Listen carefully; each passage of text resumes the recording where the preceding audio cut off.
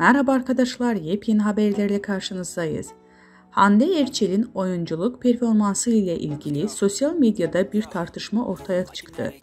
Pazartesi akşamları Fox TV ekranlarında yayınlanmakta olan Bambaşka Bir isimli diziyle yeniden setlere dönüş yapan ünlü oyuncu, son dönemde sosyal medyanın en çok konuşulan kişilerinden biri oldu.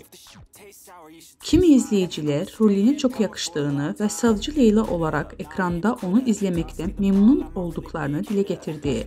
Bazıları ise Erçel'in oyunculuk performansını eleştiriyor ve rolün altından kalkmadığını düşünüyorlar. Oyuncunu savunanlar bir yılda kendisini iliştirmek için büyük çaba harcadığını belirtti. Haftada 10 saat oyunculuk dersi alıyormuş.